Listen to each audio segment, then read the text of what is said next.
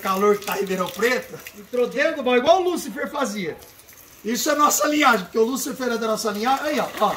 Ó que ela gosta, ó. Aí, ó, ó. Ó.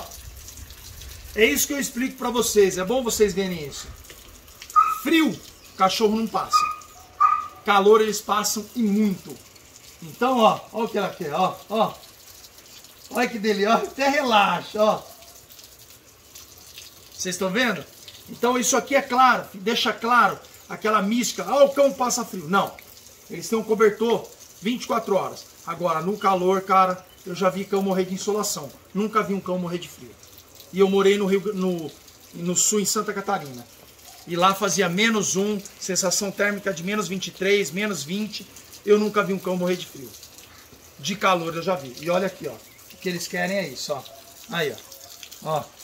Ó que beleza. Né, Zoe? Ó. Essa é a Zoe, uma pit da nossa linhagem, tá? Olha isso aqui, ó. Aí, ó. Ó. Aí. Tá refrescando, Zoe?